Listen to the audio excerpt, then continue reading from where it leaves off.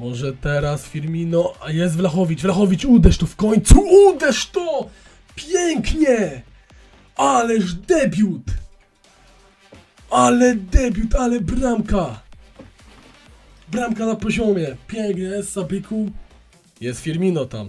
Firmino i dwa, dwa do zera. Pięknie. Roberto Firmino. A zobaczcie, proszę bardzo, mamy ósmą dywizję, nowa liga. Nie wiedziałem, że to te, tak już, tak szybko, ósma liga.